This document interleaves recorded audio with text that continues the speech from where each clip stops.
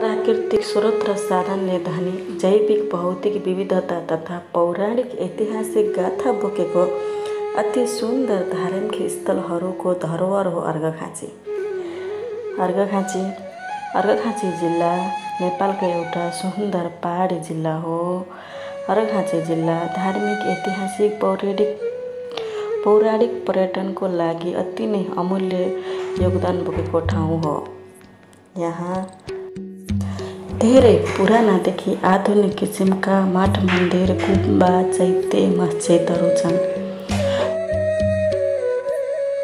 विक्रम सम्मत पन्ध्र सय सोह्र सय सालभन्दा पहिला बनेका काष्ठ झ्याल काष्ठका झ्यालडोका मूर्ति अनि यसको उही पुरानै कला संस्कृतिमा कुदिएका मठ मन्दिर दरबार यहाँका प्रमुख महत्त्वपूर्ण महत्त्वपूर्ण धार्मिक स्थलहरूको अवलोकन गर्न सकिन्छ। अर्घखाँची जिल्लाको नाम बाइस र चौबिस राज्य हुँदा अर्घ एउटा राज्य अनि खाँची अर्को राज्य थियो। नेपालीलाई एकीकरण गर्ने क्रममा अर्घ र खाँची एक आपसमा मिलेर बनेको एउटा सिङ्गो राज्यलाई अर्घखाँची भनिएको किम्बदन्ती छ। अर्घखाँची नेपालको धार्मिक ऐतिहासिक पौराणिक व्याथा बोकेको एउटा नेपालको सुन्दर रमाइलो अनि पछि परेको जिल्ला हो। यो जिल्लामा पुराना धेरै पुराना मठ मन्दिर कोट दरबारहरू प्रशस्त रूपमा पाइन्छन्। यो जिल्लामा कफी उत्पादन राम्रो मानिन्छ। यहाँको मुख्य पेसा कृषि नै हो। मुख्य बाली धान गहुँ मकै तोरी हो भने नगदे बालीमा कफी पर्दछ। यो नेपालको प्रदेश नम्बर पाँचमा पर्दछ। अर्घाखाँची जिल्लाको सदरमुकाम सन्धिखर्क हो। यो जिल्ला एक हजार एक सय तिरानब्बे वर्ग किलोमिटरमा फैलिएको छ भने यसको कुल जनसङ्ख्या एक लाख सन्तानब्बे हजार छ सय बत्तिस छ भने यसको छिमेकी जिल्लाहरू पाल्पा पाल्पा गुल्मी दाङ प्युठान बागलुङ र कपिलवस्तु यसका छिमेकी जिल्लाहरू हुन्।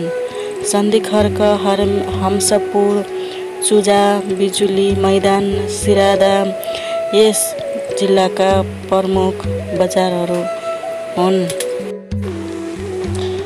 अर्घाखाँची जिल्ला उच्च भेगमा भएको हुनाले यहाँबाट माछा पुच्छ्रे हिमाल धौलागरी जस्ता हिम श्रृङ्खलाहरूको अवलोकन गर्न सकिन्छ।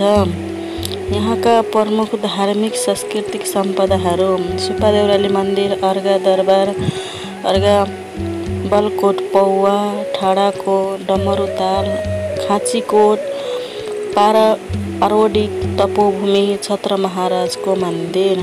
यहाँ धेरै पुराना कलाकृतिकले बनेका झ्याल ढोका अझै पनि संरक्षित गरिएको छ।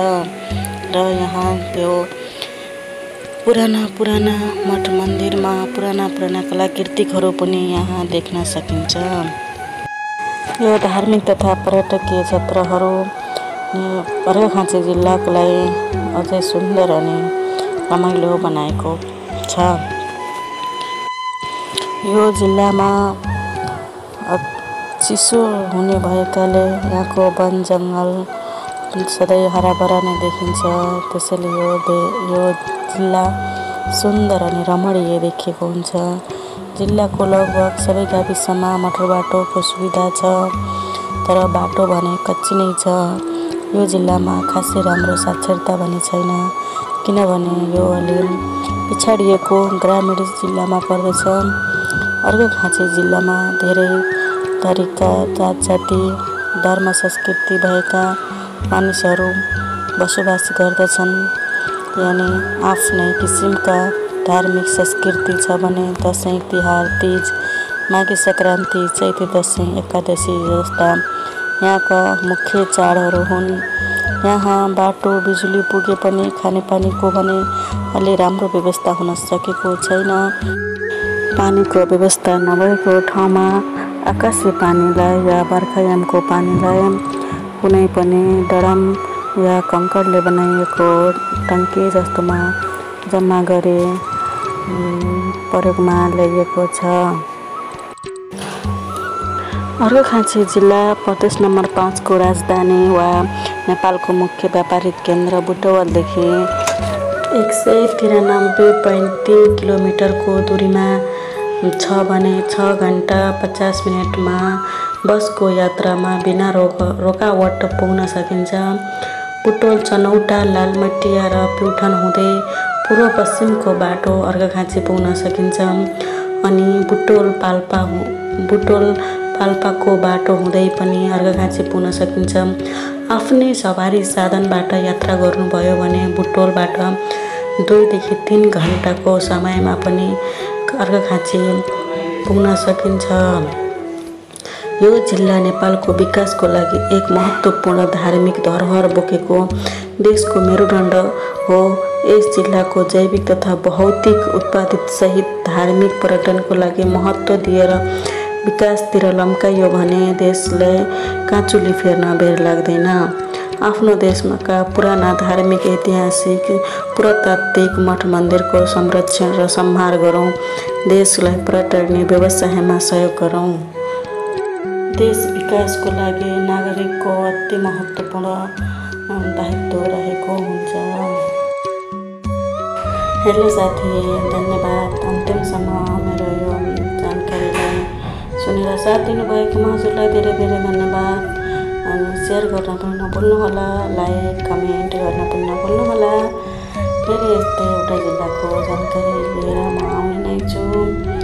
हजुरले जान्ने अरूलाई जान्ने मौका पनि दिन नभुल्नुहोला सेयर गरिदिनुहोला कमेन्ट गर्नुहोला अनि सब्सक्राइब गरिदिनुहोला प्लिज सब्सक्राइब गर्नु नभुल्नुहोला अनि नजिकैको घन्टीलाई पनि थिच्न नभुल्नुहोला